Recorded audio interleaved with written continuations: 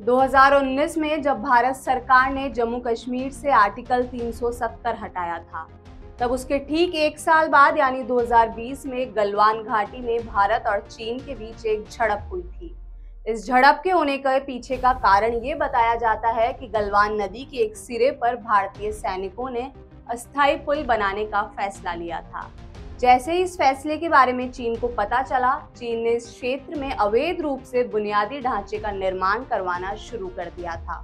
और साथ ही इस क्षेत्र में चीन ने धीरे धीरे अपने सैनिकों की संख्या बढ़ानी शुरू कर दी थी। इस झड़प में चीन के 38 सैनिक मारे गए थे और भारत के करीब 20 जवान शहीद हो गए थे। और ये झड़प दोनों देशों के बीच 40 साल बाद हुई थी। कश्मीर से आर्टिकल 370 हटाने के मामले में 11 दिसंबर को सुप्रीम कोर्ट ने सुनवाई करते हुए सरकार के फैसले को बरकरार रखा और कहा, अनुच्छेद 370 हमेशा से एक स्थायी प्रावधान था और जम्मू कश्मीर का एक ज़रूरी हिस्सा है और इसका उद्देश्य जम्मू कश्मीर का भारत के साथ एकीकरण करना था, न कि अलग करना।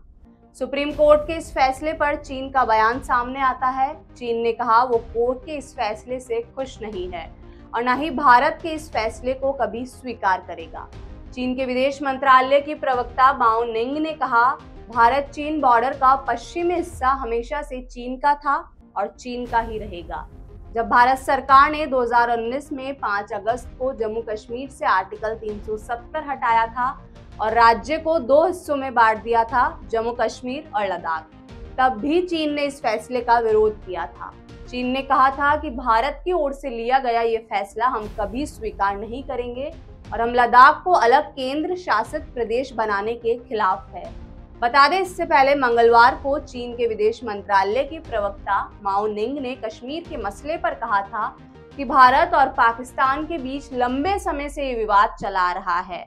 इसे शांतिपूर्ण तरीके से यूएनएससी के प्रस्तावों के ज़रिए सुलझाया जा सकता है जिससे क्षेत्र में शांति और स्थिरता बनी रहेगी। लेकिन इस बीच एक बड़ा सवाल उठता है। आर्टिकल 370 पर आए फैसले से पाकिस्तान के बाद आखिर चीन क्यों बौखला गया? क्या चीन और पाकिस्तान मिले हुए हैं? या फिर चीन और पाकिस्तान मिलकर कोई साजिश रचना चाहते हैं? बाकी देश और दुनिया की तमाम खबरों के लिए आप देखते रहिए दी नगरी न्यूज़। शुक्रिया।